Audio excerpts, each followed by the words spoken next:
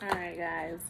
So it says here no clumps no smudges no strips no damage no mistakes.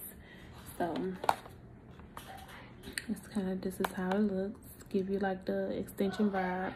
And you want to put them on with the they got the little glue the lashes um the tweezers and the lashes. So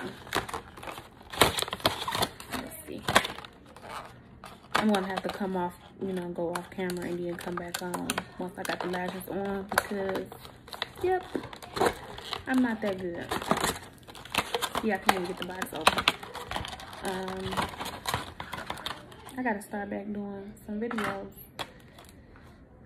Yeah, so this is how it is. So this is pop out. Excuse me, that's my nephew and my son arguing over Fortnite games. But you can barely see the lashes. Can you see them? And this is like the glue. I guess you this is the glue here, and this is the sealer, it says. Y'all see that? Yeah. And these cute little tweezers. I like these. Feel like I'm getting fancy. But I'm gonna go off and I'll come back again.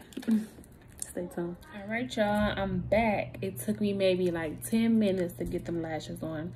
Um, it was easy. I like it. You know, they look natural. You could barely even tell I got anything on.